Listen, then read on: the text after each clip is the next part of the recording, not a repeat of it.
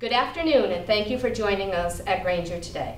My name is Karen Archambault, and I'm the market manager here in Worcester, Mass.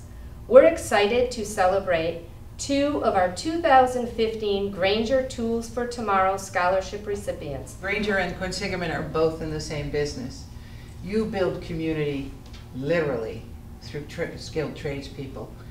We build community through the educational programs. We love the fact that this program helps us to uh, enable our veterans who come through Quinsigamond Community College to be that much stronger, that much more employable.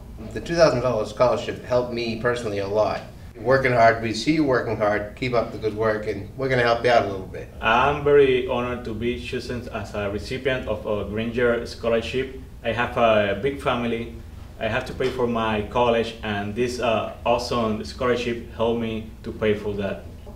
Between the programming we provide and the tools that you provide, they're good to go. And so we really thank you for that. Thank you.